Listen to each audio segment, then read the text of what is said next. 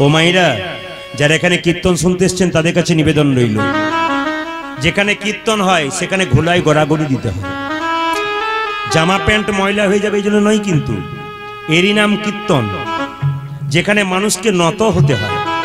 আপনি যদি মনে করেন আমার জামা প্যান্ট ময়লা হয়ে যাবে, শাড়ি ময়লা হয়ে যাবে, তাহলে অভিমান ভেতরে আছে, অহংকার ভেতরে আছে, আপনি গোবিন্দ চরণ পাবেন। প্রমাণ দিয়ে দিই আমি গত কয়েকদিন আগে হুগলি জেলায় গান করছিলাম। কলকাতা থেকে চারটা মেয়ে একটা গাড়িতে চেপে ওদের আত্মীয় কীর্তন শুনতে এসছে। বলছে, বাড়িতে আমরা সবাই শুনি, আপনি আমাদের আত্মীয়ের বাড়ি আসছেন বলে এলাম। তো দেখলাম চারটে মেয়ে কীর্তন শুনতে এসে চারটে গোপালকে হাতে নিয়ে আসরে এলো, চারজন। আসরের ওপরে রাখল, কীর্তন শুনলো, শোনার পরে দামি দামি শাড়ি পরে আছে। কিন্তু কি করছে জানেন? ধুলাই গড়াগড়ি দিচ্ছে। জিজ্ঞেস করলাম, চালা কি করে? দিদি, ধুলাই যে গড়াগড়ি দিচ্ছ, শাড়ি ময়লা হয়ে যাবে না? ওনারা বলছেন, দাদা, আপনারই তো কথা। ভক্তপদ ধুলিয়ার, ভক্তপদ জল ভক্ত ভক্ত শেষ হয় তিন মহা এ- এ জগতে এক বোতল ভিটামিন সিরাপ খেলে শরীরে দু মাসের জন্য তাগত হয়, কিন্তু মনের বল তৈরি হয় না। মনের বল তৈরি করতে গেলে ভক্তের চরণধুলি ভক্তের চরণ ধোয়া জল আর ভক্তের বৈষ্ণবের উচ্ছিষ্ট প্রসাদ আপনারা পেলে আপনাদের লাভ হয়ে যায়। ওই মেয়ে তিনটে কি করল দেখুন, চারটা গড়াগড়ি দিল। জিজ্ঞেস করলাম, ময়লা হয়ে যাচ্ছে না? ওনারা বললেন, আমার স্বামীর কলকাতাতে সবচাইতে বড় কাপড়ের দোকান। দাদা, আমি এসেছিলাম খালি, যাব খালি। স্বামীর বিরাট বড় দোকান থাকতে পারে, যাবার সময় একটা কাপড় আমার সঙ্গে দেবে না। কি নিয়ে এসেছি আর কি নিয়ে যাব? এই জন্য দেখুন, অভিমান যেখানে থাকে, অহংকার যেখানে থাকে, ভগবান সেখানে নাই। এই দিকে তাকাবেন মায়েরা। যার ভেতরে যত অহংকার হবে, সে বারবার প্রণাম করুন। যত প্রণাম করবেন, অহংকার তত দূর হয়ে যাবে। আর আপনি যদি ছোট না হন, অহংকার আপনার দিনের পর দিন বেড়ে যাবে। মা সারদা দেবী বলেছেন, নিজের ভুলগুলোকে আগে সংশোধন করো, তাহলে তুমি অপরের দোষ দেখতে পাবে না। আর নিজে দোষী হলে তুমি সবাইকে দোষী দেখবে। একজন চোর দেখবেন রাত্রিবেলায় পেরোলে, ও ভাবে আর একজন আসছে, ও বোধহয় আমার দলের লোকই বটে। আর একজন সাধু যদি রাস্তা দিয়ে পেরোই একজনকে দেখলে মনে মনে হবে এও বোধহয় সাধু বটে আসছে। আপনার চোখ যদি ভালো হয়, আপনি ভালো জিনিস দেখবেন, আর আপনার চোখ যদি খারাপ হয়, আপনি খারাপ জিনিস দেখবেন। আর যারা কীর্তন শুনতে এসছেন, তাদের সকলের পরিবারের জন্য একটি জিনিস আবেদন রাখব, ভগবানের কাছে। সেটা কি আবেদন রাখব? আপনাদের গাড়ি, বাড়ি, টাকা, পয়সা, ধন হোক আর না হোক, প্রত্যেকটি বাড়িতে একটি করে কৃষ্ণ ভক্ত সন্তানের জন্ম। প্রশ্ন করবেন প্রদীপ বাবু আপনি গাড়ি বাড়ি চাইলেন না? খুব কম। কৃষ্ণ ভক্ত সন্তান চাইলেন কেন? একটাই কারণ। সচিমাতা নিমাইকে জিজ্ঞেস করেছিল, তোর বাবার পিণ্ডটা দিয়াই নিমাইকে জিজ্ঞেস করেছে, তোর বাবার পিণ্ডটা দিয়াই নিমাই বলেছিল, মা, পিণ্ড দিলে কি হয়? সাত বংশোদ্ধার হয়। সঙ্গে সঙ্গে সচিমাতা আহা। সচিমাতা বলেছিল, সাত বংশোদ্ধার হয়। নিমাই বলেছিল, মা পিণ্ড দিলে সাত বংশোদ্ধার হয়। কোন বংশে একজন কৃষ্ণ ভক্ত সন্তান জন্ম নিলে তার সাত বংশ নয় তার চোদ্দ বংশ। আপনাদের কাছে যে লীলাটি আজকে আবেদন আছে সেই লীলাটি আপনাদের সামনে আজকে পরিবেশন করব। কারণ অনেক ভক্ত আমাকে ফোন করে করে বলে যে দাদা আমার বাচ্চা খুব চঞ্চল পড়াশুনো করতে পারে না খালি চঞ্চলতা করে। তার জন্য কি খাওয়ানো যায় বাতাসার কথা একটু বলবেন। আপনারা শোনেন নাই? অনেক জায়গায় শুনেছেন। কিন্তু অনেকে প্রশ্ন করে ওই বাতাসা কোথায় পাবেন? কিন্তু সেই বাতাস আজকে আপনারা এখানেই পাবেন। এই যে বাতাস আপনারা দেখতে পাচ্ছেন, কীর্তনের শেষে হরির লুট করে ছড়িয়ে দেওয়া হবে। যদি কেউ দুটো পান, পাশের জনকে একটা দেবেন। এখন নয়, প্রসাদ হওয়ার পর। ভগবানের প্রসাদ হওয়ার পর, এখন নয়। ভগবানের, বসুন, আপনি বসুন। এত ধৈর্যহীন হলে হবে না। আপনি বাড়ি গেলে আপনার বাড়ি পৌঁছে দেওয়া হবে, চিন্তা নেই। যান, হরে কৃষ্ণ। এইদিকে মাইরা সবাই লক্ষ্য করুন। আজকে যে প্রসাদের কথা বলছি আপনাদেরকে, মন দিয়ে শুনবেন। কীর্তনের শেষে সবাই যদি প্রসাদটা না পান, তবে একটা উপায় বলে দিই। অনেকে শেষে এসে আবেদন করবেন না যে, আমি প্রসাদটা পেলাম না। আমি একটু বুঝিয়ে দিই, কী করবেন? যদি না পান, কোনো অসুবিধা নেই। কি করবেন? আপনি বুধবার দিন বুধবার দিন বাড়িতে এক কেজি বাতাসা কিনে, ঠিক সন্ধ্যাবেলাতে হরিল্লুট দিয়ে দিন। ওই হরিল্লুটের বাতাসা কিছু বাচ্চাদেরকে দিন, বাড়ির কাউকে দিন, আর পাঁচশো সাতশো মতো বাতাসা আপনি বাড়ির ভেতরে কৌটোতে রেখে দিন। প্রত্যেক বৃহস্পতিবার ওই বাতাসা এক টুকরো নিয়ে তুলসী মন্দিরে বাচ্চাকে জল ঢালাবেন, আপনি ঢালবেন। নি বৃহস্পতিবার দিন ভালো কাপড় পরে ওকে শুভ্র পোশাক পরিয়ে তুলসী মন্দিরে বসিয়ে একটা তুলসী পাতার এইটুকু বাতাসা দিয়ে কপালে ঠেকাবেন আর বলবেন, জয় গোপীনাথ জয় গোপীনাথ জয় গোপীনাথ। নিয়ে মুখে দিয়ে দেবেন। ওই প্রসাদটা প্রতি বৃহস্পতিবার, আপনি এক বছর আপনার বাচ্চার মুখে দিন। দেখুন, এক বছর পর আপনার বাচ্চা আস্তে আস্তে চঞ্চল হয়ে যাবে। দেখবেন, আপনারা লক্ষ্য করবেন, এটা কিন্তু প্রত্যেক জায়গাতে, গাওয়াতে, প্রত্যেক জায়গায় ফল এসেছে, আপনারা পাবেন তবে আমি আগেই বললাম, যারা শেষে আছে হয়তো পাবেন না। নাও হতে পারে যে আপনারা পাবেন না, দুঃখ করবেন না। আমি বারবার বললাম, আপনার এক কেজি বাতাস এনে বাড়িতে হলিউড দেবেন, একই জিনিস, এখানেও যা, ওখানেও তা। যদি পেয়ে যান তো ভালো, না পেলে আপনি বাড়িতে করে নেবেন, কোনো অসুবিধা নেই। তারা তাড়াহুড়ো করার দরকার নেই। এইবার বলি, দ্বিতীয় নিয়মটা বলি। বাড়িতে দেখবেন গাড়ি, বাড়ি, টাকা, পয়সা, ধন দরজ সব আছে, একটা জিনিস নাই, কি? শান্তি নাই। এই শান্তি প্রতিষ্ঠা করতে গেলে আপনি বাতাসা রঘুনন্দন লীলা যারা পড়েছেন, তারা পরিষ্কার করে জানবেন যে বাতাসা প্রসাদটা তুলসী মন্দিরের কাছে গিয়ে যখন জল ঢালবেন না, প্রতি বৃহস্পতিবার এরকম করে গুঁড়ি করে গাছের নিচে ভেঙে দেবেন। একটুখানি বাতাসা। প্রতিদিন এক ঘটি করে জল দেবেন তিনশো পঁয়ষট্টি দিনের মধ্যে দেখবেন আপনার বাড়িতে একটা সুন্দর আবহাওয়া সৃষ্টি হয়ে গেছে। আপনি ভাবতেই পারবেন না পরিবর্তনটা হলে কেন। তুলসী রানীর কৃপা হলে আপনার বাড়ি শান্তিতে পরিপূর্ণ থাকবে। যদি কোনো ব্যক্তি অনেকদিন ধরে অসুস্থতা বোধ করছেন, খুব শরীরে কষ্ট পাচ্ছেন, ডাক্তার চিকিৎসা করছে, ভালো হচ্ছে না, আপনি এই প্রসাদটা নিয়ে গিয়ে জয় গোপীনাথ বলে তার মুখে তুলসী পত্র দিয়ে একটু গঙ্গা জল দিয়ে দেবেন, দেখবেন এক বছরের মধ্যে তার অনেক আরাম হয়ে যাবে। যারা করেছে তারা প্রত্যেকে ফোন করে বলেছে, দাদা, লাভ হচ্ছে। বলে, হচ্ছে তো। বলে হ্যাঁ শুরু হয়ে গেছে। আপনারা একবার করে দেখুন, আপনাদের লাভ আছে। তবে এখন নয়, কীর্তনের শেষে আপনার প্রসাদ নিয়ে যাবেন। মায়েরা কাপড়ে কোণে বাঁধবেন কিন্তু। নিয়ে বাড়িতে গিয়ে ওই কৌটোর মধ্যে ভরে রাখবেন। নিয়ে যে এক কেজি বাতাসাটা আপনি হরিলুট দেবেন না, ওই কৌটোতে ওটা মিশিয়ে দেবেন। ঠিক আছে? আর দাদা ভাইরা আপনারা পকেটে করে বুক পকেটে নিয়ে যাবেন, যত্ন করে বাড়িতে কাজে লেগে যাবে। আসুন, লীলাটির নাম কি? ভক্ত রঘু নন্দন আপনারা যদি বর্ধমান জেলা যান, তাহলে বর্ধমান বাস স্ট্যান্ড থেকে বাস আছে, ট্রেন আছে। আপনি শ্রীখণ্ডে গোপীনাথের মন্দির যেতে পারেন। ওই গোপীনাথের মন্দিরে দেখবেন পাথরের গোপীনাথ আছে, তার হাতে অর্ধেকটা পাথরের নাড়ু আছে। এই অর্ধেকটা পাথরের নাড়ু হলো কেন? এই রঘুনন্দন জন্ম নিয়ে পাঁচ বছর বয়সে গোপীনাথকে নাড়ু খাওয়ালো, এরই তত্ত্ব কথা আপনারা শুনতে পারবেন। সবাই মিলে একটা হয়ে দিন। নিতাই চাঁদ কি? শ্যাম সুন্দর কি? মদন মোহন কি? আসুন। এইবার সবাই লক্ষ্য করুন। আমি প্রশ্ন করব উত্তর দেবেন। বড় দু ভাই বাস করত শ্রীখণ্ড গ্রামের বড় ভাইয়ের নাম মুকুন্দ সরকার আর ছোট ভাইয়ের নাম নরহরি সরকার। বলুন, বড় ভাইয়ের নাম কি বললাম? মুকুন্দ সরকার। ছোট ভাইয়ের নাম কি? নরহরি সরকার। এইবার দু ভাই মিলে বড় ভাইয়ের কাজ কি? চিকিৎসা করা, কবিরাজি চিকিৎসা। এখন যেমন ডাক্তারি বলে তখন কবিরাজি চিকিৎসা ছিল। তো কবিরাজি চিকিৎসা করে ছোট ভাই কম্পাউন্ডারি করে। দাদা, সবাই তো নবদ্বীপে যাচ্ছে, মহাপ্রভুকে দেখতে। চল একবার যাবে না? তখন দাদা মুকুন্দ সরকার নরহরিকে বলছে, যাব তো ভাই। তখন তো বাস ট্রেনে যোগাযোগ ছিল না, হেঁটে হেঁটে যেতে হতো। বলে, এতটা রাস্তা যাব কি করে? তখন ছোট ভাই বলছে, দাদা, সাধুগুরু বৈষ্ণবের মুখে শুনেছি, কেউ যদি কৃষ্ণ নাম করতে করতে চলে যায়, তার অনেক রাস্তা নাকি কমে যায় আপনাদের কাছে নিবেদন রইল, আপনারা যখন অনেক রাস্তা হাঁটবেন, হরিনাম করতে করতে চলে যাবেন মনে মনে, দেখবেন আপনার রাস্তা খাটো হয়ে যাবে। মুকুন্দা নরহরি দুজনে মিলে যাচ্ছে কোথায়? শ্রীখণ্ড থেকে এত রাস্তা। নবদ্বীপ শিবাসঙ্গনে মহাপ্রভুকে দেখতে। কীভাবে যাচ্ছে? কৃষ্ণ কেশব কৃষ্ণ কেশব কৃষ্ণ কেশব তাহি নাম। রাম রাঘব রাম রাঘব রাম রাঘব তালি দিয়ে কৃষ্ণ হরে কৃষ্ণ কৃষ্ণ কৃষ্ণ হরে হরে। হরে রাম হরে রাম রাম রাম হরে হরে। কৃষ্ণ কেশব কৃষ্ণ কেশব কৃষ্ণ কেশব তাহি নাম। রাম রাঘব রাম রাঘব রাম রাঘব রক্ত আরে কৃষ্ণ হরে কৃষ্ণ কৃষ্ণ কৃষ্ণ হরে হরে হরে রাম হরে রাম রাম রাম হরে হরে কৃষ্ণ কেশব কৃষ্ণ কেশব কৃষ্ণ কেশব তাহি নাম রাম রাঘব রাম রাঘব রাম রাঘব রক্ষ হরে হরে কৃষ্ণ হরে কৃষ্ণ কৃষ্ণ কৃষ্ণ হরে হরে হরে রাম হরে রাম রাম রাম হরে হরে কেশব কৃষ্ণ কৃষ্ণ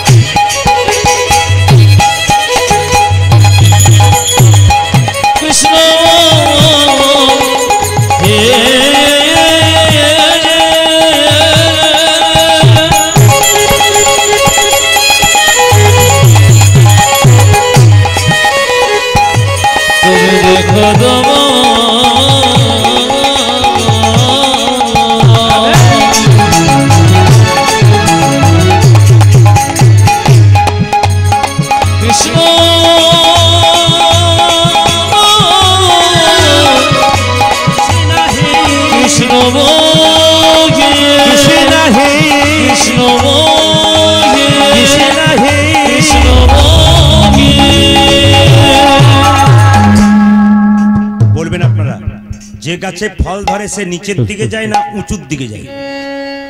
কোনটা যায়? তাহলে যদি হও নিচু, তবে পাবে কিছু। যদি আগেও তুমি উঁচু হয়ে যাও, তাহলে হেরে যাবে। বেশি বার বেরো না। আপনাদের মুখস্থ হয়ে আছে। আমার না বললেও হতো। যাক, যেগুলো মুখস্থ আছে, বলবার সঙ্গে সঙ্গে বলে দেবেন, আর দরকার নেই। এইদিকে থাকে খুব ভালো, আপনার মন দিয়ে শুনুন। তাহলে যদি হও নিচু, তবে পাবে কিছু। বনের মধ্যে যে বড় বড় গাছ আছে, যাদের ফল ধরে তারা নিচের দিকে যায়, ভক্ত যারা হয় তাদের ভাবটি এরকম হয়। আমার দিকে তাকান। মুকুন্দা নরহরি মহাপ্রভুকে দেখবার জন্য শ্রীবাসের দরজাতে এরকম করে দাঁড়িয়ে আছে। মহাপ্রভু কি করে দেখুন? ভক্ত যদি কাই মনে কোনো বাঞ্ছা করে, ভগবানের সাধ্য নাই, সেই বাঞ্ছা নাই তাহলে দেখুন, একটা খুব দামি জায়গাটা লক্ষ্য করবেন। শিবাসের দরজাতে মহাপ্রভু দাঁড়িয়ে আছে। আর মহাপ্রভু ভার শিবাসের ভেতরে আছে, বাড়ির ভেতরে। তিনি কিন্তু ওইখান থেকে জানতে পেরে গেলেন, দুজন ভক্ত এখানে এসছে আমার কৃপা পাওয়ার জন্য। তার মানে যারা দূরে বসে আছেন বলে অবজ্ঞা ভাববেন না। মহাপ্রভু সবাইকে দেখতে পাচ্ছে। আর মহাপ্রভু সবার মনগুলোকে এখন পরীক্ষা করছে, কে কেমন মন দিয়ে আমার কীর্তন শুনছে। কারণ মহাপ্রভু নিজের মুখে বলেছেন, মন মনা ভবা। মানে তোমার মনটা আমাকে দাও, তোমার মন যদি আমাকে দাও, আমি আমার মন তোমাকে দেবো। এটা ভগবানের কথা, তোমার মন আমাকে দাও, আমি তোমার আমার মনটা তোমাকে দিয়ে দেবো। এই জন্য আজকে হরিবাসরে গোটা মনটা, আর বাড়ির জন্য চিন্তা করবেন না, একবারে গোবিন্দের কাছে দিয়ে তারপর যাবেন। লক্ষ্য করুন মহাপ্রভু শিবাসকে ডেকে বলল শিবাস দু ভাই আমার কৃপা পাবার জন্য এসছে আমার দর্শন করার জন্য এসছে দেখার জন্য। চলো আমরা দুজন মিলে একবার সুরধ্বনি তীর দিয়ে হরিনাম গাইতে গাইতে যাই ওরা দু ভাই আমাদের একটু দর্শন করে নি মহাপ্রভু যাচ্ছেন কীভাবে? তীরে। মহাবিল সমবয় বালক সঙ্গে।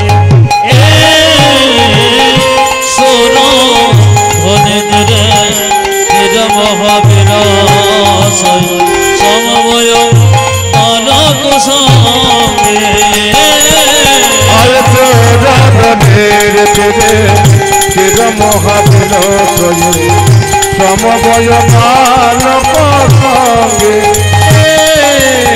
আর গোরা তুরে পুরা মহাবিল সমবয় বালক সঙ্গে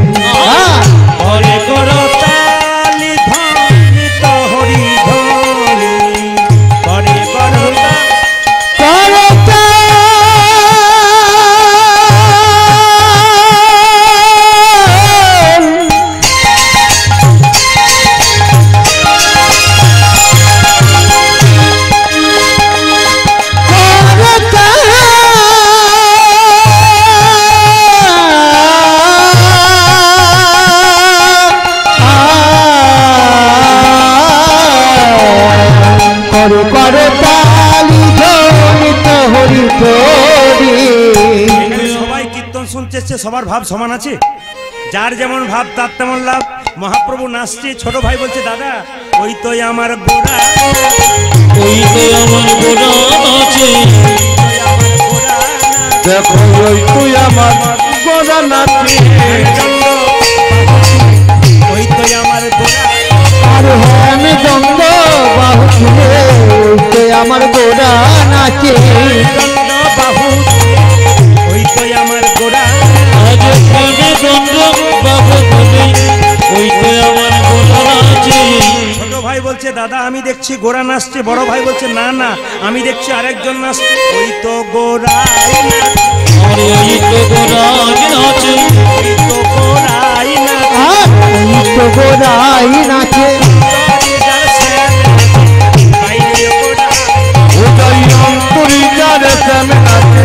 বাইরে গোড়া,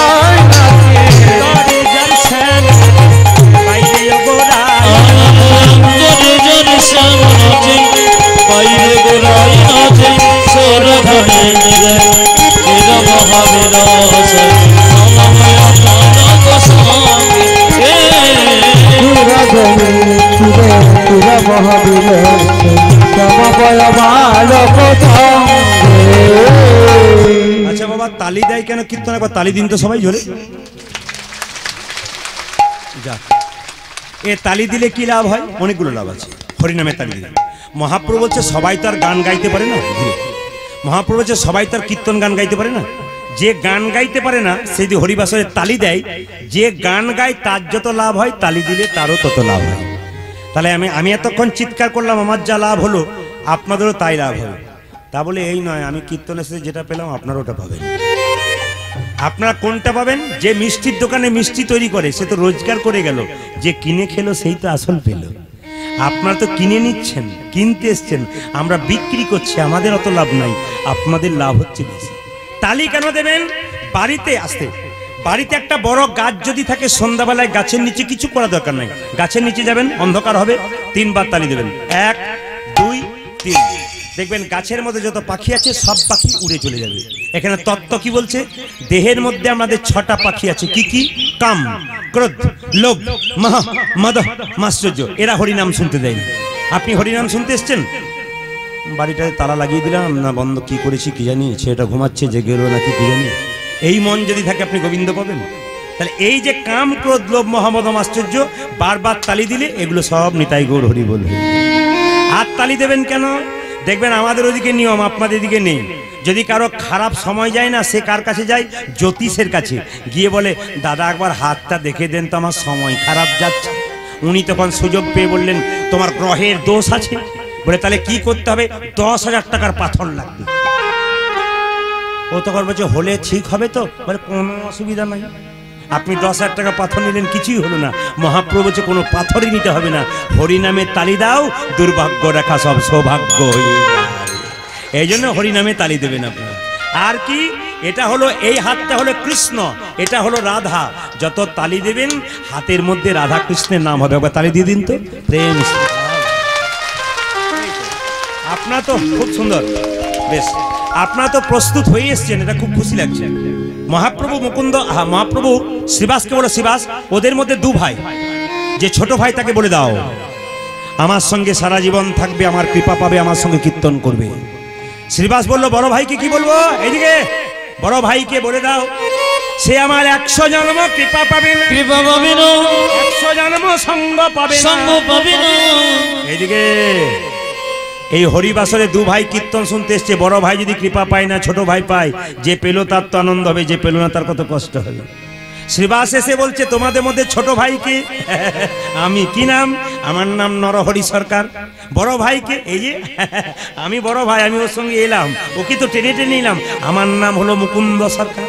শ্রীবাস বলল তোমাদের মধ্যে যে ছোট ভাই নরহরি প্রভু আশীর্বাদ করেছে সারা জীবন তার সঙ্গে কীর্তন করবে থাকবে আর যে বড় ভাই তোমার জন্য কি বলেছে যেন তুমি একশো জন্ম সঙ্গ পাবে সঙ্গ পাবে না। একশো জন্ম কৃপা পাবে না কৃপা পাবে শুনে বড় ভাই কি করছে দেখুন যেই না শুনেছে কৃপা পাবো না সঙ্গ পাবো না একশো বছর অমনি নাচতে শুরু করেছে জয়।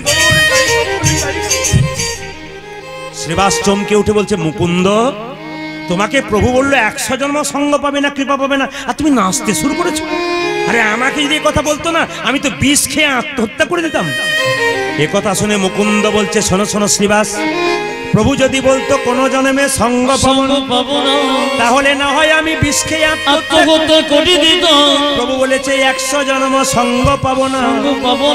একশো জন্ম না হয় গৌর গৌর কিন্তু যখন একশো জন্ম পেরিয়ে যাবে একশো এক জন্মে প্রভুর সঙ্গ এক জন্মে প্রভু সঙ্গ পাবো।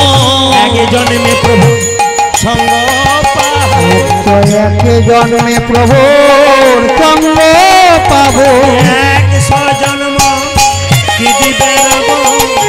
এক জন্মে প্রভু সঙ্গ পাবো। আমি একশো জন্ম দেবে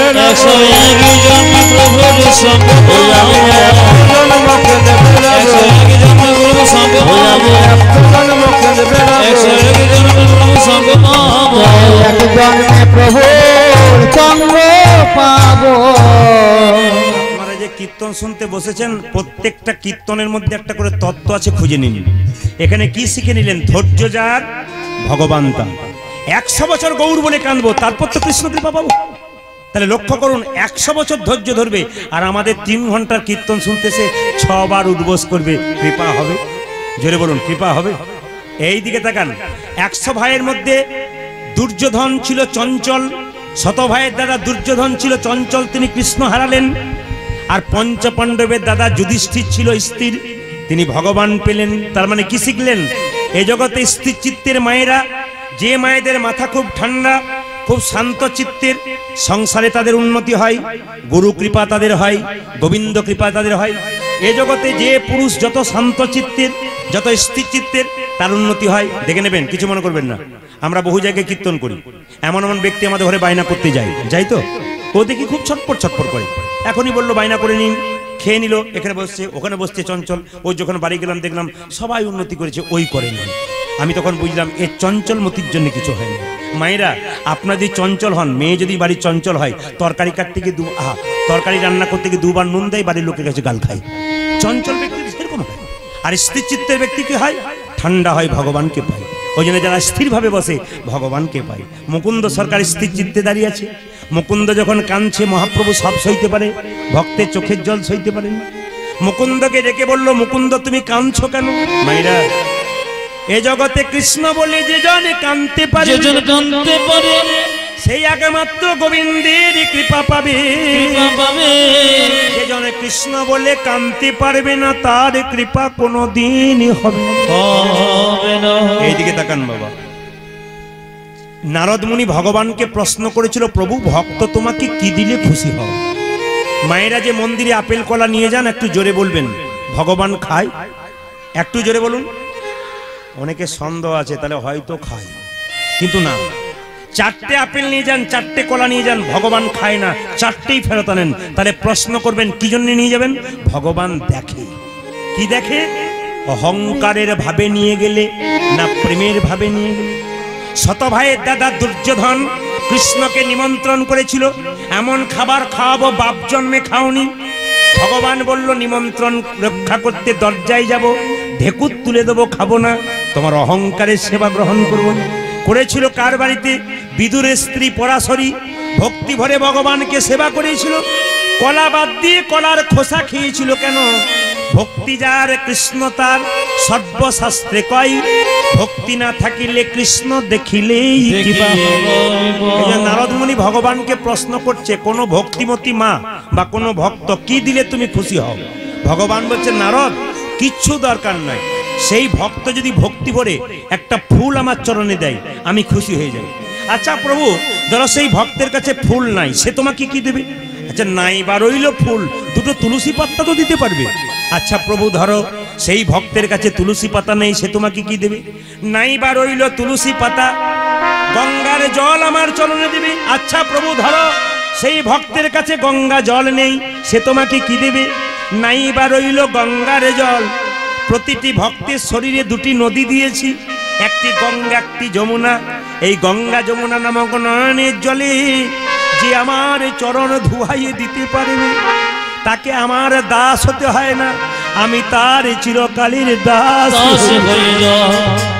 ওই জন্য সংসারের জন্য কেঁদো না ছেলের জন্য কাঁদবে মেয়ের জন্য কাঁদবে। শেষে ছেলে মেয়ে প্রশ্ন করবে তুমি আমার জন্য করেছ কি? আপনি বলবেন আহ যার জন্য করে চুরি সে কিনা বলে চোর কিন্তু ভগবানের জন্য কেউ যদি কাঁদে, তবে ভগবান কারও ঋণ রাখে না। ভগবান সবার ঋণ শোধ করে দেয়। কৃষ্ণ বলে, যে জন কাঁদতে পারে, তার চোখের জল চোখের মাঝ দিয়ে বের হয়। সে জল গরম হয় না শীতল হয়। শীতল হয় সেই জল মুখের মধ্যে প্রবেশ করলে নোনা নোনা ভাবে লাগে না মিষ্টি মিষ্টি ভাবে লাগে। আর সংসারের জন্য যত কাঁদবে চোখের জল চোখের কোন দিয়ে পড়বে সে জল গরম হবে। মুখের মধ্যে প্রবেশ করলে নোনা নোনা ভাব লাগে। মুকুন্দ সরকার যখন কাঁদছে মহাপ্রভু একটা দামি কথা বলল মুকুন্দ তুমি কাঁদছো কেন? ঠাকুর তুমি আমার ভাইকে কৃপা করলে, আমাকে করলে না? মহাপ্রভু কি সুন্দর বাণী দেখুন, কত সুন্দর বোঝালেন দেখুন। এই মুকুন্দ, তুমি হয়তো জানো না, তুমি সংসারের বড় ভাই। এ সংসারে যারা বড় ভাই হয় আর বড় বউ হয়, তাদের দায়িত্ব সবচাইতে বেশি হয়। কে বললেন? মহাপ্রভু। মুকুন্দ বলল, কেন প্রভু? বলছে, ধরো, একটা বনের মধ্যে বড় বড় গাছগুলো, ছোট ছোট গাছগুলোকে ঝরঝঞ্ঝা থেকে রক্ষা করে। সংসারের যারা বড় ভাই হয়, ছোট ছোট ভাইদের যতই বিপদ হোক, বড় ভাই থাকতে পারে না। সে ছুটে গিয়ে তার পাশে দাঁড়ায় কেন? সে যে বড়, তার ছায়াতে তারা আশ্রয় নেয়। এই তুমি তো বড় ভাই, তোমার ভাইকে আমি রাখলাম। আর তুমি শিখণ্ডে ফিরে যাও, গোপীনাথের মন্দির তৈরি করো, আর গরিবের চিকিৎসা করো। তোমার মাথায় হাত দিয়ে আশীর্বাদ করে দিলাম। কাল থেকে তাকে তুমি চিকিৎসা করবে। তারই রোগ ভালো হয়ে যাবে। তার মানে আপনার কি শিখে নিলেন? এই যে কীর্তন শুনতে এলেন, মহাপ্রভুর আশীর্বাদ অজান্তে আপনাদের মাথায় আসবে। ওই জন্য যেখানে হরিনাম হয়, ভক্তি ভরে শুনতে হয়। যে মায়েরা রান্না করতে পারে না করজোরে ভগবানের কাছে প্রার্থনা করুন, মহাপ্রভুর আশীর্বাদ তার হাতে পড়বে, মাথায় পড়বে। আপনার যারা যে কর্ম করেন না কেন, যতই কীর্তন শুনবেন, মহাপ্রভুর আশীর্বাদ অজান্তে আপনার মাথায় পড়বে, আপনি জানতেই পারবেন না। কারণ প্রমাণ দেখিনি আমি ঝাড়খণ্ডে এক জায়গায় গান করছিলাম, একটা ভদ্রলোক, দেখছি মোটর সাইকেলে করে এসে মোটর সাইকেলে ফেলে দিয়ে দৌড়ে আসরে বসে গেল। এত তো লোকের মাঝে। আর লোকগুলো সব দাঁড়িয়ে আছে, পেছন পেছন ছুটে এসছে। এই যে দাদা, এদিকে এদিকে। ডাকছে, ও কিন্তু তাকাচ্ছে না। ও আমার দিকে তাকিয়ে বসে আছে। কীর্তনে শেষে জিজ্ঞেস করলাম, দাদা, আপনি দৌড়ে এলেন? ওরা তিন ঘণ্টা এখনও দাঁড়িয়ে আছে। আপনার জন্য কি ব্যাপার? আপনি কি খারাপ কাজ করেছেন? বলছে আগে না থাকুন। বলে, কি? আসলে আমি একজন মোটরসাইকেল গ্যারেজের মিস্ত্রি। মহাপ্রভুর কৃপাতে আমার হাত নাকি ভালো। কারও কাছে করাবে না, আমার কাছেই করাবে। আমি বললাম, কীর্তনটা শুনে আসি, রাত তিনটে পরে করে দেবো। তোমরা দিয়ে যাও, কাল নিয়ে নেবে। সে নিতে চায় না, আজকেই করাবে। আমি কিন্তু শর্ত নিয়েছি, খোল করতালে শব্দ শুনলে আমি আর থাকতে পারি না। আমাকে মহাপ্রভু কৃপা করেছে, আমি এসে একবার হরিনাম শুনতে পেয়েছি। আচ্ছা ঠাকুর, রাত্রি পেরিয়ে গেলে যদি আমি না বাঁচি, ভগবানের নামটা শুনে তো মরতে পারব? তখন বুঝে নিলাম, এমনি এমনি কৃপা হয় না। ছুটে এলো কর্ম করল রাত্রি তিনটের পরে আবার কাজ করে দিল ওরা আনন্দে বাড়ি গেল। ওই জন্য মহাপ্রভুর আশীর্বাদ অজান্তে পড়বে। মুকুন্দকে বলল মুকুন্দ আশীর্বাদ করলাম যাকে চিকিৎসা করবে তারই রোগ ভালো হয়ে যাবে। ফির তুমি এক কাজ করো ফিরে যাও ফিরে যাও ফিরে ফিরে যাও। শিখণ্ডে ফিরে যা। ফিরে যাও ফিরে যাও।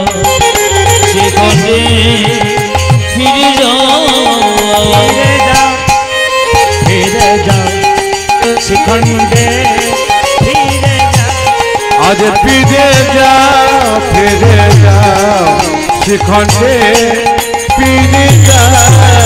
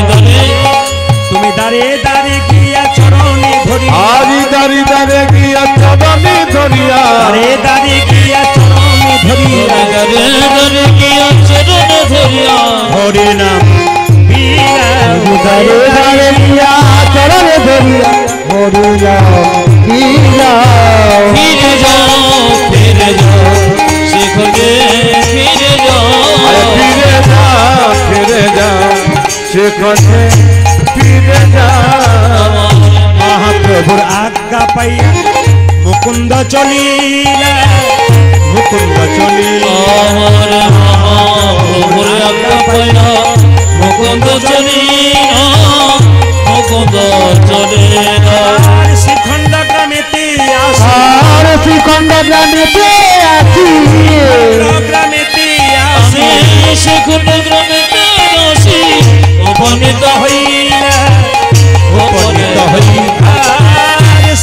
শ্রীখণ্ড গ্রামেতে আছি উপনীত হইয়া উপনীত হইয়া হরি বল বলো বলো হরি বল বলো বলো হরি বল বলো বলো হরি জোরে বলুন গোপীনাথ জিউ কি গোপীনাথ জিউ কি শ্যাম সুন্দর কি মদন মোহন কি একটু বাড়বে মনে হচ্ছে আরও জোরে শ্যাম সুন্দর কি যাক মদন মোহন কি? হরিবাসর কি? যাদের ঘুম আসছে তাদের কি? দু চারজনকে যখন বলছে ঘুম আসছে তাদের কি মাথা নাচ হচ্ছে না না না। আচ্ছা ঠিক আছে। হ্যাঁ, আমি তো দেখতে পাচ্ছি দু একজন কিন্তু নেতাই চাঁদ কি? এটা কিন্তু আমি লক্ষ্য করেছি। তবে আসতে একটা সুবিধা কি জানেন? আসতে। আসলে মায়েদের যে সুবিধা আছে বাবাদের সে সুবিধা নাই। কেন বলুন তো? যে মা জীবনে কোনোদিন মাথার কাপড় নেই নাই, ও দেখবেন ঘুম এলেই দেখবেন মাথার কাপড়টা চওড়া করে নেই একটা মেয়ের ঘুম এসেছে, পাশের মেয়েটা বলছে, দিদি, তুমি ঘুমোচ্ছ? বলে, ঘুমোয় নাই, ধ্যান করে করে শুনছি। এমন ধ্যান করে শোনো না, যেন লম্বা হয়ে পড়ে যাবে, তুলে নিয়ে যেতে হবে, ধীরে। এইদিকে মায়েরা, আমি তো আপনাদের হাওড়াতে গান করছি, তার আগে কিন্তু আমি প্রচুর গান করতাম, আমার জীবনে ঝাড়িখণ্ডে। যখন আমার ইউটিউবে গান বেরোয়নি তখন আমি ঝাড়িখণ্ডে প্রচুর গান করতাম, প্রচুর প্রচুর। ঝাড়িখণ্ড, মালদা, নদিয়া, মুর্শিদাবাদ, প্রচুর গান গাইতাম। আপনারা হয়তো আমাকে চিনতেন না। তো ঝাড়িখণ্ডের নিয়ম হচ্ছে সন্ধ্যে সাতটা থেকে দশটা রামায়ণ পাঠ আর দশটার পরে হরিনাম সংকীর্তন। তো ঝাড়িখণ্ডের দুমকা জেলা বলে আপনার একটা নাম শুনেছেন? খুব নাম করা জায়গা কিন্তু। দুমকা জেলা। তো লক্ষ্য করুন, ওখানে একটা নিয়ম হচ্ছে কি, যে সাতটা থেকে দশটা রামায়ণ পাঠ হবে আর দশটার পরে কীর্তন হবে। তিন দিন কীর্তন হবে, একদিন কুঞ্জবর্ণন হবে। একজন কীর্তনে কিন্তু গাইবে, সারাদিন হরে কৃষ্ণ নাম হবে আর একজনে কীর্তনে গান গাইবে। দশটা থেকে একটা পর্যন্ত গাইবে। এইদিকে দেখান। এখন লক্ষ্য করুন, সাতটা থেকে যদি এখানে কীর্তন আরম্ভ হয়, নিয়ে দশটার পরে একটা কীর্তন হয়, সন্ধেবেলার কীর্তনে কারা শুনতে আসে? আর জোরে বলবেন, শাশুড়ি মায়ের আসে না বৌমাগুলো আসে? কোনটা আসে বলুন? শাশুড়িরা আসে বৌমা কি করে তখন কাজ করে? আর শাশুড়ি মা যদি গান শুনতে না আসে কি বলে বলুন তো? ঘরে বসে কি করছ? মানে ঘর থেকে গেলেই বাঁচি আর কি। বলে না আমি আপনাদের জন্য বলি আমাদের দিকে। যে সন্ধ্যাবেলা কীর্তন হয় না শাশুড়িকে বউ বলে। কি বলছেন বলছেন? খালি ঘরে ঘরে খালি খুচু খুচু ও বিরক্ত হয়ে হরিনামে চলে।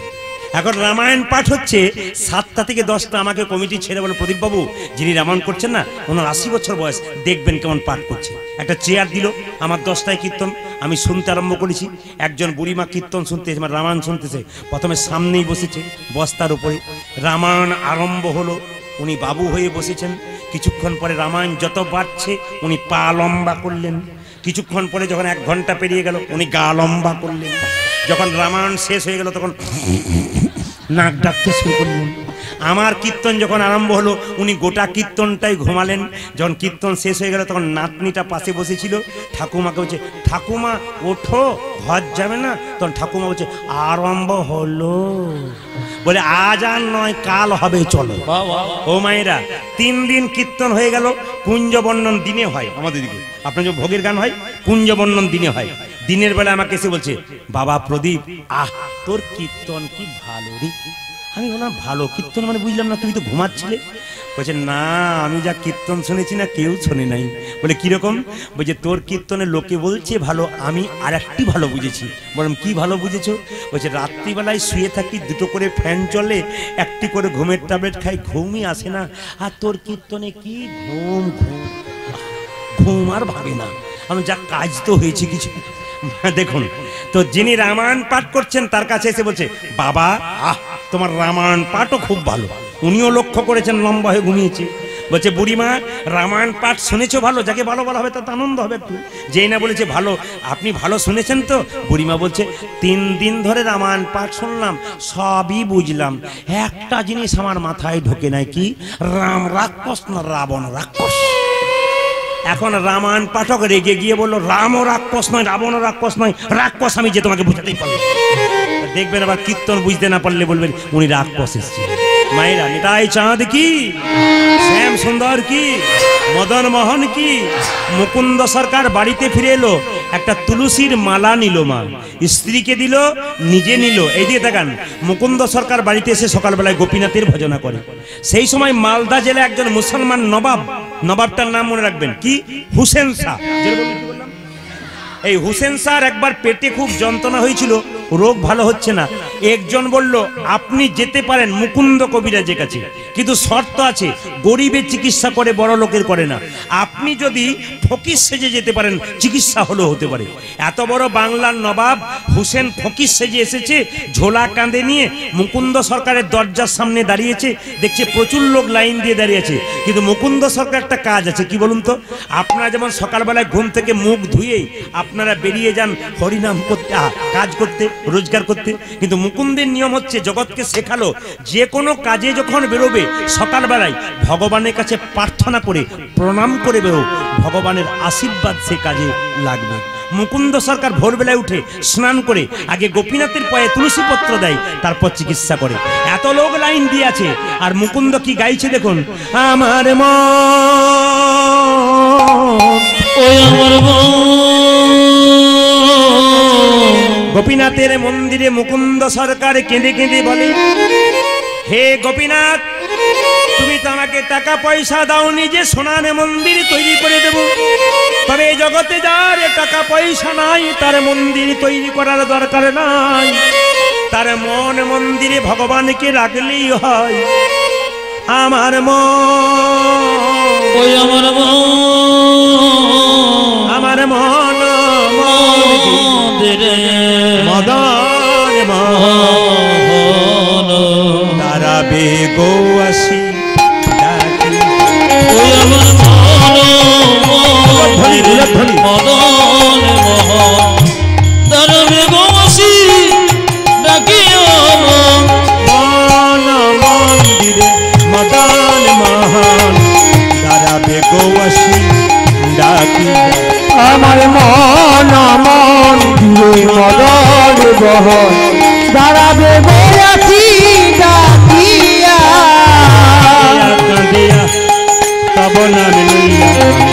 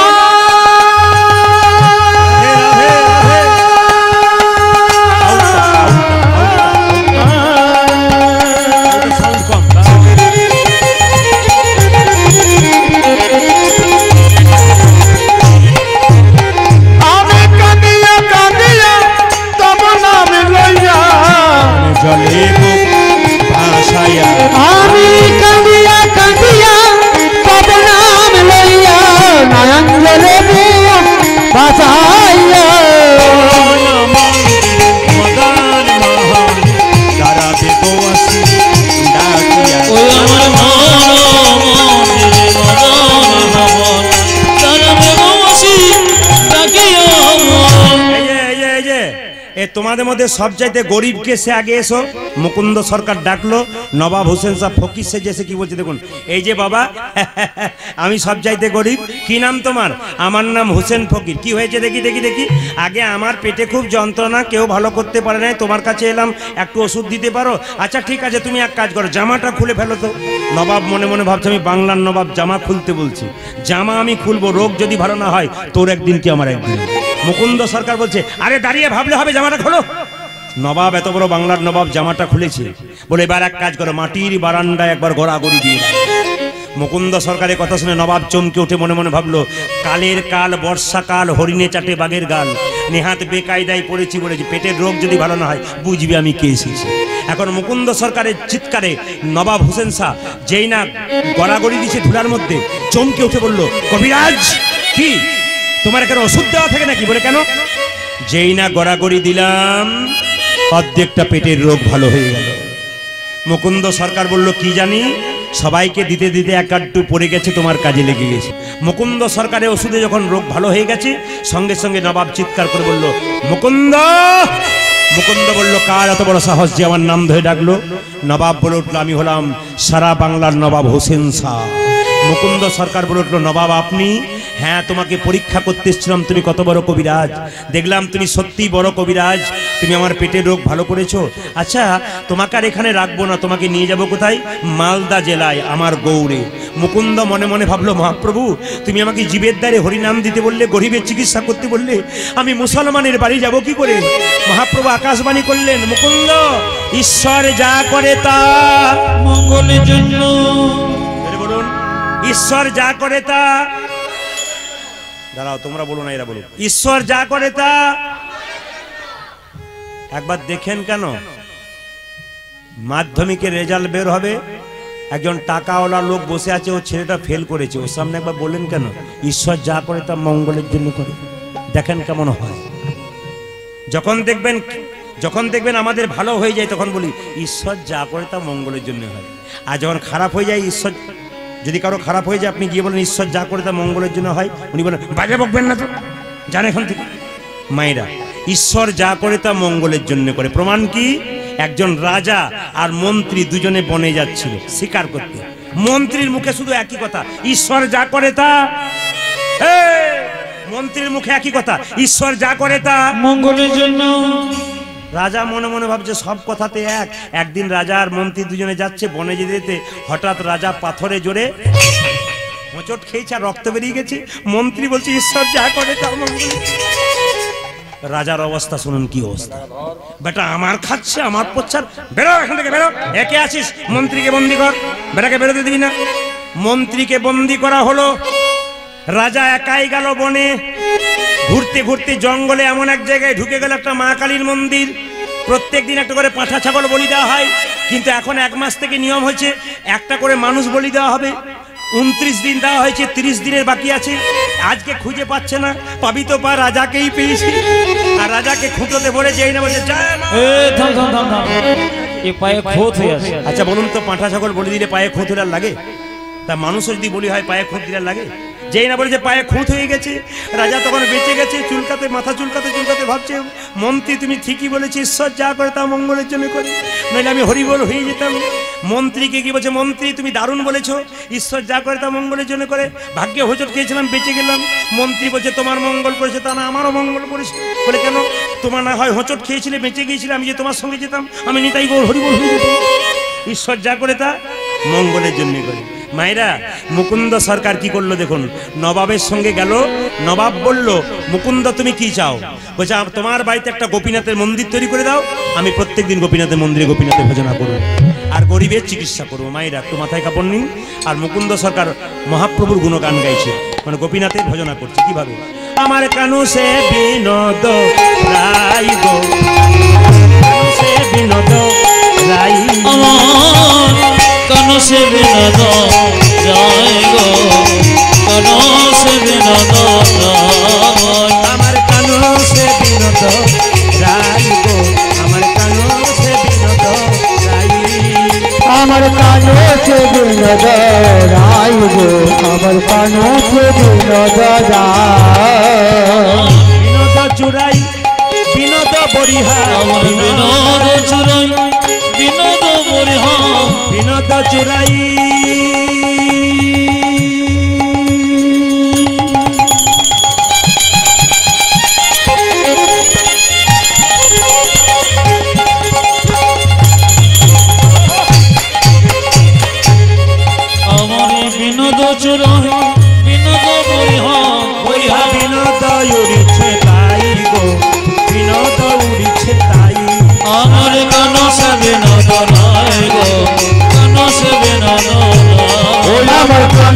সে বিনোদ রায় সে বিনোদ রায় বিনোদ কপালে বিনোদ তিলক বিনোদ বিনোদ সাজে। আমার বিনোদ কপালে বিনোদ বিনোদ বিনোদ বিনোদ সাজে। আপনারা যে যেখানে বসে আছেন সবাই তিলক করবেন। প্রশ্ন করবেন, তিলক করলেই তো লোকে ঠাট্টা করবে। আপনার ঠাট্টা করার যদি ভয় থাকে, একটা তিলক করবেন। সেই তিলকটা করলে আপনাকে কেউ ঠাট্টা করবে না, কিচ্ছু করবে না। কি করবেন? প্রত্যেকদিন তুলসী মঞ্চে যখন জল দেবেন না, সবাই লক্ষ্য করুন। জল দেওয়ার পর তুলসী গাছের নিচে যে কাঁচা মাটিটা রয়েছে, ওই মাটিটা কড়ি আঙ্গুলের পাশে যে আঙ্গুলটা অনামিকা, এই আঙ্গুলটা নিয়ে আপনি তিনবার হরে কৃষ্ণ নাম করে ফোঁটাটা নেবেন। আপনার বাচ্চাকে দেবেন, পরিবারের সবাইকে দেবেন। আপনার কৃষ্ণ কৃপা হবে। মাথায় রইল, কি বলে গেলাম? কাল থেকে তুলসী গাছে জল দেবেন, গাছে জল দেওয়ার পর যে মাটিটা রয়েছে, কাঁচা মাটিটা, ওটা এরকম করে এই আঙ্গুলে, মাথায় রাখবেন, কড়ি আঙ্গুলের পাশে, ডান দিকে যে ডান হাতের কড়ি আঙ্গুলের এই পাশটা, এটা অনামিকা আঙ্গুল হ্যাঁ? এই আঙ্গুলটা করে এরকম করে নেবেন, তিনবার টিকা নেবেন, তিনবার। হরে কৃষ্ণ হরে কৃষ্ণ কৃষ্ণ কৃষ্ণ, হরে হরে বলে নেবেন। দেখবেন তিনবার নেওয়ার পর আপনার সেই টিকাটা তুলসী, আহা, তিলকের মতো কাজ করে যাবে। লক্ষ্য করুন বিনোদ কপালে বিনোদ তিলক বিনোদ বিনোদ সাজে। আমার বিনোদ কপালে বিনোদ দিন বিনোদ বিনোদ সাজে। বিনোদয় ধরি বিনোদ মুরলী। বিনোদয় ধরে বিনোদ মুরলী। বিনোদয় ধরি বিনোদ মুরলী। যাবে বিনোদয় ধরে বিনোদ মুরলী। বিনোদ বিনোদ বাজে আমার বিনোদ বিনোদ বাজে আমার কানো সে বিনোদ রায় গো। কানো সে বিনোদ ও বিনোদ রায় গো আমার বিনোদ রায় বিনোদ কোটিতে বিনোদ ধতি বিনোদ বিনোদ সাজে বিনোদ কোটিতে বিনোদ ঘটি বিনোদ বিনোদ সাজে বিনোদ কোটিতে বিনোদ আমার বিনোদ কোটিতে বিনোদ ঘটি বিনোদ বিনোদ সাজে।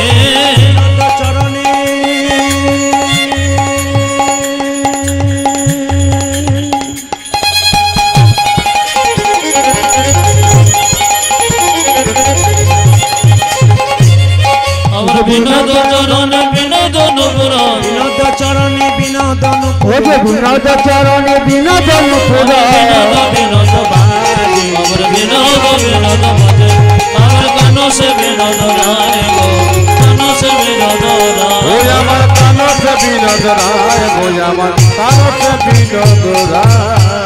এই গানটা গাইতে গাইতে মুকুন্দ সরকার গাইছে আর নবাব পেছন থেকে দেখছে।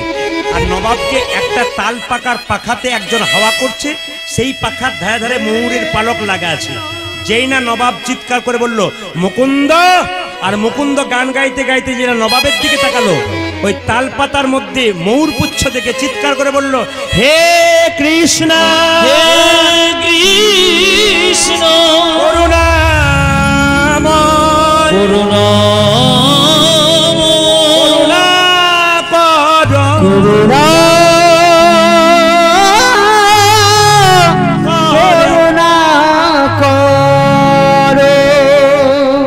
মায়েরা যখন কেউ ভাবে বিভোর হয়ে যায় না, ভগবান দেখে তখন। মুকুন্দ সরকার যে না তাকালো, ময়ূরের পালকের মধ্যে কৃষ্ণ দেখতে পেয়ে অজ্ঞান হয়ে আছাড় খেয়ে পড়ে। নবাব চিৎকার করে বলল, কে আছিস? একটু জল নিয়ে আয় তো। যেই না এক গ্লাস জল এনে মুকুন্দের মুখে দিল, অমনি মুকুন্দের চেতন ফিরে নবাব জিজ্ঞেস করল, মুকুন্দ, তুমি যখন কীর্তন করছিলে, আমি তোমাকে পিছু ডাকলাম তুমি অজ্ঞান হয়ে গেলে কেন? মুকুন্দ সরকার কেঁদে কেঁদে মনে মনে ভাবছে, নবাব, তুমি তো মুসলমান, আমি তো হিন্দু। আমার কৃষ্ণ অনুরাগের কথা তুমি কেমন করে জানবে? আমি জীবনে কাউকে মিথ্যে কথা বলিনি, কিন্তু আজ তোমাকে একটা মিথ্যে কথা বলব। নবাবকে মুকুন্দ বলে উঠল, নবাব, আমি তো সারা বাংলা চিকিৎসা করি, কিন্তু আমার নিজের একটা রোগ আছে। সেই রোগটার নাম হলো মৃগী রোগ। নবাব বলে উঠল, চুপ করো। তুমি হয়তো জানো না, আমার রাজ্যে একটা নিয়ম আছে। এখানে কেউ মিথ্যে কথা বললে তোমার জিভটাকে আমি ছিঁড়ে নেব। কিন্তু যেহেতু তুমি আমার পেটের রোগ ভালো করেছ, তোমার কিছু করব না। আচ্ছা মুকুন্দ, তোমার যদি মিগি রোগ থাকবে তুমি যখন অজ্ঞান হয়ে গিয়েছিলে, তবে কৃষ্ণ বলে কামছিলে কেন? আচ্ছা মুকুন্দ, তোমার যখন মিগি রোগ থাকবে যদি, তুমি যখন কৃষ্ণ বলে কামছিলে তোমার চোখ দিয়ে জল পড়ছিল কেন? মুকুন্দ সরকার নবাবকে কেঁদে কেঁদে বলল, নবাব, আমার অপরাধ হয়ে গেছে। নবাব বলল, অপরাধ তোমার হয়নি, মুকুন্দ, আমার হয়েছে। কেন? তোমার মতো কৃষ্ণ ভক্তকে আমি আমার কেনা গোলাম মনে করেছি। এই জগতে যারা কৃষ্ণ ভক্ত হয়, কারও কেনাম গোলাম হয় না। একমাত্র ভগবানেরই ভক্ত হয়। ওগো মুকুন্দ, আমি তোমাকে আর এখানে বেঁধে রাখব না। তুমি শ্রীখণ্ড গ্রামে ফিরে যাও। তোমার যাতে কোনো অভাব না থাকে আমি গোটা শ্রীখণ্ডটা তোমার নামে লিখে দিলাম। এতে ঈশ্বর যা করে তা মঙ্গলের জন্য করে। মুকুন্দকে নবাব বলল ওগো মুকুন্দ এই হতভাগ্য নবাবের যদি কিছু হয় তুমি অন্তত দেখে যেও কথা দিলাম নবাব আমি দেখে যাব। মুকুন্দ সরকার চলল কোথায়? একবারে সোজা শ্রীখণ্ড গ্রামে। আর যেতে যেতে গাইছে ওই আমি কোথায় গেলে? পাবো গো দেখা। দেখো। আমার ঘন শ্যাম আমার আমার ঘন শ্যাম। আমি কোথায়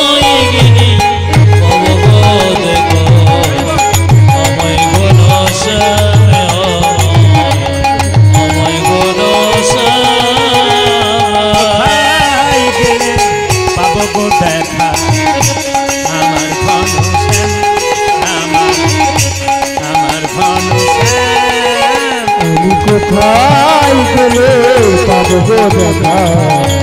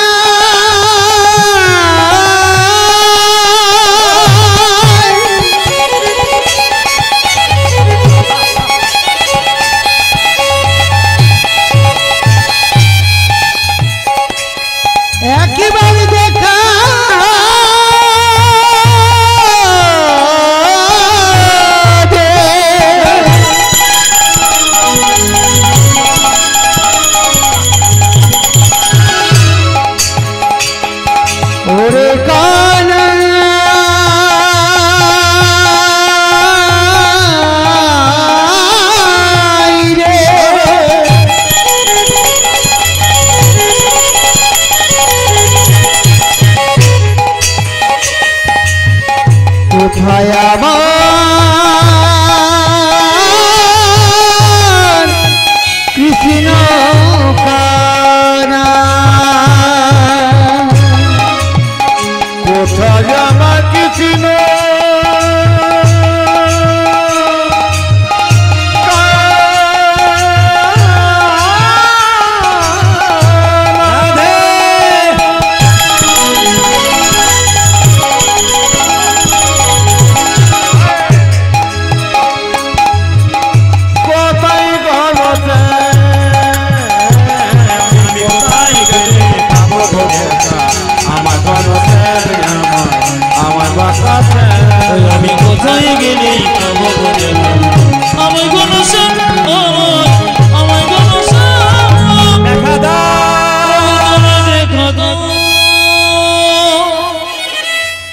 একটা নিবেদন রইল।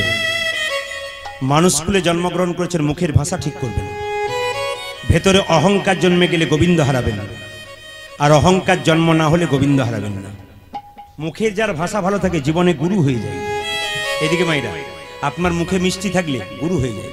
রামকৃষ্ণ পরমহংসদেব বলেছেন, বাড়িতে যদি কেউ যায়, মিষ্টি যদি না থাকে, দুটো মিষ্টি জল দিতে পারিস আর না পারিস, দুটো মিষ্টি কথা অন্তত বলিস।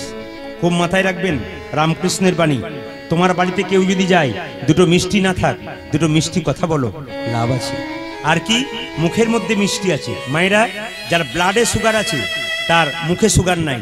আর যার মুখে সুগার আছে তার ব্লাডে সুগার নাই। একটু বলি মুখের মধ্যে কটা দাঁত থাকে? জোরে বলুন। মুখের মধ্যে বাহান্নটা? আচ্ছা আচ্ছা। দু- দু চারজন হ্যাঁ বলে ফেলেছিল আর কি। সব ডাক্তারই পড়া আছে নাকি? বা বত্রিশটা বললেন। একজন তো ছত্রিশটা বলেছে আমি শুনতে পেয়েছি। যাক অনেকে ছত্রিশটা হয় বোধ আচ্ছা মায়েরা এদিকে মুখের ভেতরে বত্রিশটা দাঁত। বিচার করে বলবেন, হট করে বলবেন না, জীব কটা থাকে? খুব ভয়ে ভয়ে বলছে, দুই চারজন বলছে, চুপ করে থাক, বলার দরকার নাই, কীর্তনিয়ারা জেনে দু তিনটে হয়তো থাকতে কিন্তু জেনে নিন মায়েরা, একটু ভালো কথা। এইদিকে, জীব আমাদের একটাই থাকে, দাঁত বত্রিশটা থাকে। দাঁতে আর জীবে মাঝে মাঝে মারামারি হয় না? যদি বলুন, হয় না কিনা আচ্ছা এইদিকে তাকান। এক সময় বত্রিশ জন দাঁত জীবকে বলছে, বেশি বাড়াবাড়ি করবি না, লক লক করবি না, এমন কামড় দেবো না, বত্রিশ টুকরো করে দেবো। জীব তখন বলছে, তোরা বত্রিশ জন ভাই, আমি একা। আমার সে ক্ষমতা নাই। তোরা বত্রিশ জন আমাকে বত্রিশ টুকরো করতে পারিস, কিন্তু আমি এমন একটা কাজ করে দেবো, একবারে বত্রিশ জন এখান থেকে সরে যাবে। বলছে, কি করে যাব? জীব বলছে, আমার কত পাওয়ার দেখবি? বলে, কীরকম? বত্রিশ জনকে এখান থেকে সরিয়ে দেবো। বলে, কীরকম? রাস্তা দিয়ে কোনো লোক যাবে, এমন গালি দিয়ে দেবো, এক চড়াই বত্রিশ জন ঝরে যাবে। ঠিক বলে এই যে নিবেদন আপনাদের কাছে, মুখের ভাষা যদি কার, এই যে মুখের ভাষা যদি কারও ভালো থাকে, তাহলে সে জিতে যায়, জয়ী হয়ে যায়। এই জন্য মন দিয়ে শুনবেন আপনারা। যে যেখানে বসে আছেন, একটা একটা করে শুনবেন। অহংকার যদি কারও হয়ে যায় ভগবান তার পতন ঘটায়। মুকুন্দ সরকার চিকিৎসা করতে করতে ভেতরে অহংকার হয়ে গেল। আমি বড় চিকিৎসক হয়ে গেছি। যখন বাড়ি এলো তখন দেখতে পেল কি জানেন? তার স্ত্রী ছটপট ছটপট করছে। এ কি আমার হলো গো? স্বামী কি আমার হলো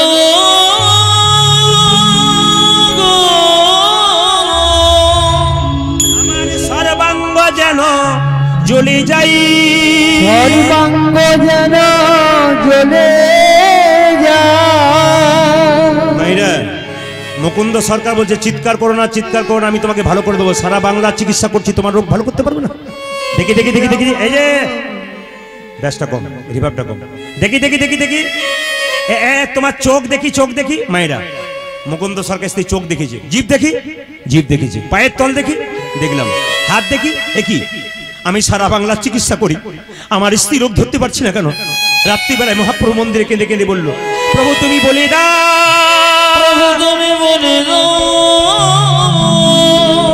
মহাপ্রভু আকাশবাণী করে বলল মুকুন্দ আমি যা ভেবেছিলাম তাই হয়েছে। সারা বাংলা চিকিৎসা করতে করতে তোমার ভেতরে অহংকার হয়ে গেছে। মুকুন্দ সরকার কেঁদে কেঁদে বলল প্রভু আমি ক্ষুদ্র জীব কখন আমার অহংকার হয় আমি জানি না। যদি আমার অহংকার হয়েছে, আমার অহংকারের পতন ঘটা ও মায়েরা, এবার সবাই লক্ষ্য করুন, গোপীনাথের জন্ম হবে। মুকুন্দ সরকারকে মহাপ্রভু তার চিবানো পান দিল। বলে, এই পানটা তোর স্ত্রীকে দিয়ে দে। রোগ তো ভালো হবে, নতুন লক্ষণ প্রকাশ পাবে, তোর স্ত্রীর গর্ভে আসবে সন্তান। মায়েরা, মুকুন্দ সরকার চিবানো পানটাকে নিয়ে যাচ্ছে, আর যেতে যেতে গাইছে, কি? ওগো যশোদার দুলাল তুমি যশোদন দোলের রাখা। বৃন্দাবন মন তুমি যশোদন বৃন্দাবন মন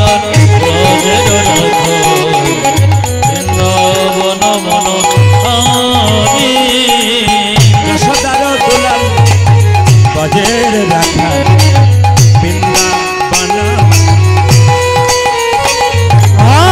天山的狗。